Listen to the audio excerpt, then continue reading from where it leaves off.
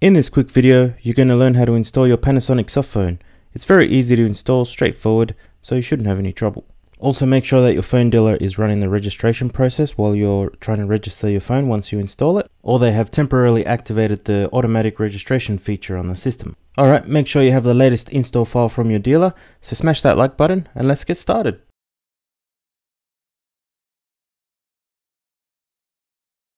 Once you've downloaded the file onto your desktop, you can double click on it to open it up or right click and run as administrator. In some cases you won't be able to install the file due to computer permissions. If that's the case you will need to contact your IT department. In some cases you will get this Microsoft Visual C warning pop up. Just hit yes because you need to install it.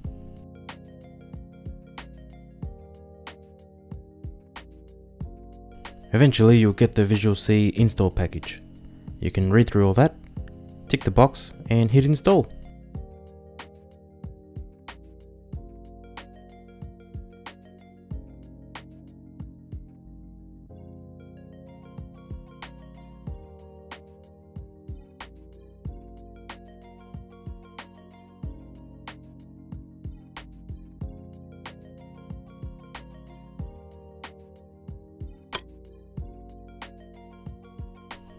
In some cases you'll get this message pop up. Now obviously you don't know if it's working correctly, just hit yes.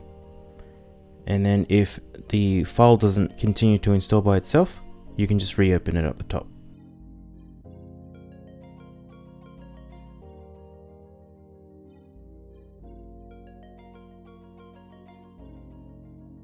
So with the Visual C package installed successfully, you'll get the IP softphone package now. So just hit next then there's a bit more light reading to do. Just hit you accept, hit next. In this instance, I'm going to assume you do not have a compatible headset. That'll be left for another video, so just click next for now. Most likely your headset will work out of the box anyway, even if you have those three brands.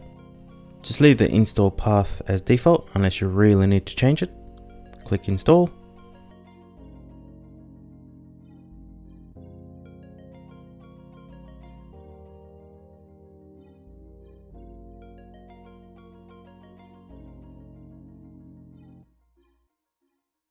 Okay, done.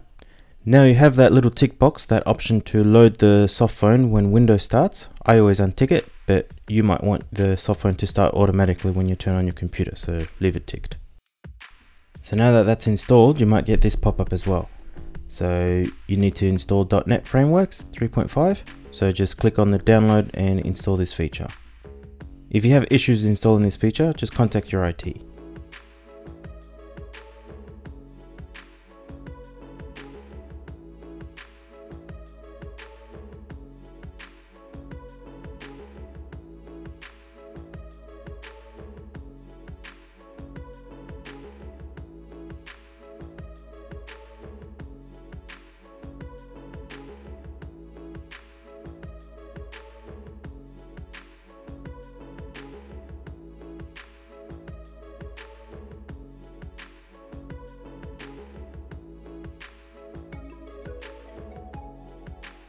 You know, it's a great time to smash that like button while you're waiting, really helps me out.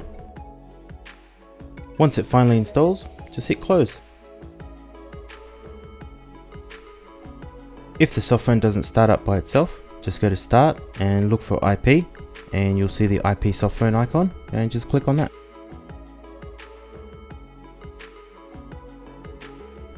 When you open the app, you'll get an IP extension type selection box. Make sure you've selected the first option as the license is always going to be on the phone system, not on your computer. Click on the do not show this message again box and click OK. Then you'll be greeted by another box asking you for the phone system's details. Your phone dealer would have told you to put the public IP address in there or the local IP address in there of the phone system depending if you're working from home or locally from the office. Now at this stage you might have your dealer on the phone depending if they've set up the system to automatically register extensions or if they have to do it manually. If your dealer has set up your system to automatically register handsets, make sure they have the system secure as well. You don't want randoms registering to your system and able to make phone calls. Now if this is the first time you're running the software, you'll get the Windows Firewall pop up. Just tick the boxes and hit allow access. If you find your handset does not connect or isn't able to make phone calls, it might be a good idea to get your IT guys to check your Windows firewall. It might be blocking this software from functioning properly. Alright, so now that I've connected, you'll see the handsets in day mode, you'll see the time and date and the handset name if you press the info button. These are the function keys, so you can configure up to 48 buttons on these handsets. So you can have BLF keys, line keys, group keys, many keys on these handsets. One of my favorite features of the softphone is they function exactly the same as a desk phone handset. So you can have a desk phone at your office and when you're at home working remotely, you can have this on your laptop, log in and you have the exact same function keys, exact same groups. So it'll ring as if you're in your office. And not to mention when you dial out, make calls to customers, you'll be presenting your office caller ID, not your mobile or your landline at home. So the icons up here, that one is your redial, the one on the left is your incoming call log, and it stores the last 20 call logs I believe, so you'll be able to call the last 20 people that you've dialed, or that have called you. Hey, if you're getting value out of this video, smash that like button. The icon in the middle is your extension lists. So they're all the internal handsets from your business or that are connected to the phone system. And then this one is the system directory. This is your personal speed dial directory.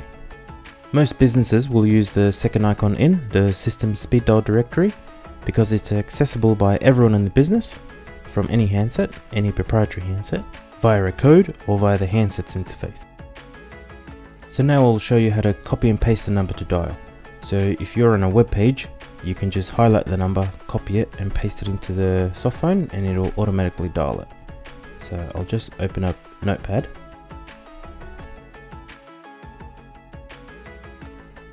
So I'll just type any old number. So zero for an outside line. And then I'll just type, yep, whatever that number is, highlight it, press copy, control C, or you can highlight it, right click, copy, go back to the handset or the softphone. You can click on here, dial paste, and when you open up the little window, you'll notice that the number you have copied is already pasted in the field. So make sure the prefix is set to zero if you're in Australia, because in Australia the prefix is zero, unless you've requested it to be changed to nine, like some of my customers have. International prefix, make sure it's got an extra zero in front of 0011 for an outside line. And I shouldn't have put an extra zero in front of the mobile number. Because of course, any number you copy on a website is not going to have an extra zero in front for you. You can also press Ctrl V to paste it into the software and it'll open up that dialog automatically, you don't have to manually click on it. If you found this video helpful, please like, share and subscribe. Don't forget to check out my other videos guys. Thank you for watching, hopefully I can help you in the next video. Thank you.